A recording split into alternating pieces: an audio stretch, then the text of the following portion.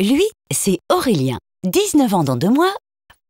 Imite comme personne la loutre joyeuse. Adore les sablés chocopécans. Le son du riff à la nuit tombée. Euh, moins celui du réveil au petit matin.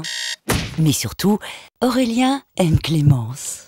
Bon, Clémence, la guitare, les loutres, c'est bien joli, mais après le bac, c'est quoi le programme? Un doctorat en littérature SMS Un master de jeu en ligne? Une licence de super-héros? Et les débouchés, hein? Bouchés. Aurélien commence à stresser. Quand soudain, il entend parler Clio.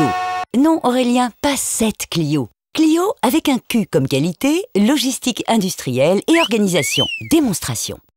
Avec Clio, on apprend la qualité dans l'entreprise. Les sablés chocopécans, par exemple, pour qu'ils soient toujours aussi bons, il faut des fournisseurs triés sur le volet, une même composition, un même poids.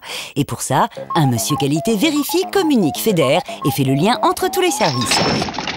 Bon, pour la qualité, on part de très loin. Clio, c'est aussi elle comme logistique.